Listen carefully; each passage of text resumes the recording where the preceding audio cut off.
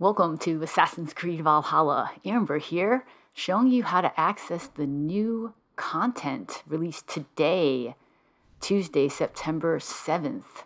This is title update 1.3.1. If you go to your quest log, under River Raids, you'll see a new quest. And this was a free update available to all players that doubles the size of the River Raids map. And to access the River Raids map, you need to talk to Vong at your settlement. So I got some questions on this last time, so I wanted to get it right out there at the beginning.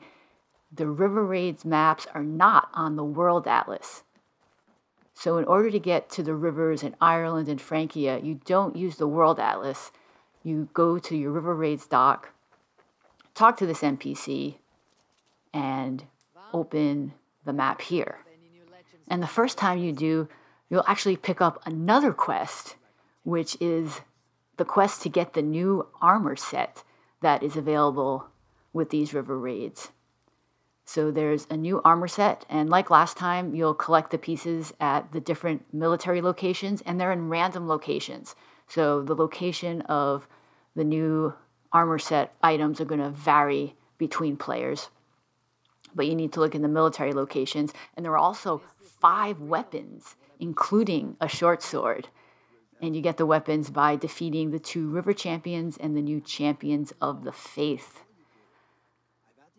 I'm not going to show any spoilers here, so I won't show any of the river raids or the boss battles. This is just more to show you how to get started, but there are more videos to come, so be sure to subscribe to my channel. Initially, you'll only have access to one of the three rivers. There are two in Ireland and one in Francia. And initially, you'll see one in Ireland has been added to your river raids map. So you still will see the river Exe, Severn, and Dee from England, but to get the new gear that's been added, you want to go here to the river Berbha in Ireland. There are three items of gear and weapons, one book of knowledge for a new ability, and also a river map clue. You'll need to collect two river map clues from the first two rivers to unlock the third river. So select your Jomsvikings, pay 50 silver to begin the raid, and off we go.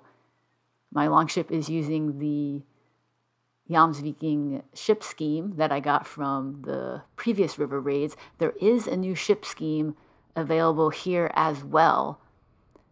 So when you collect enough supplies, you can buy a new ship scheme from Vong. So let me know in the comments, are you excited to play these new river raids and go after this new gear? This is Amber, thanks for watching. Subscribe to my channel for more guides and gameplay for Assassin's Creed Valhalla.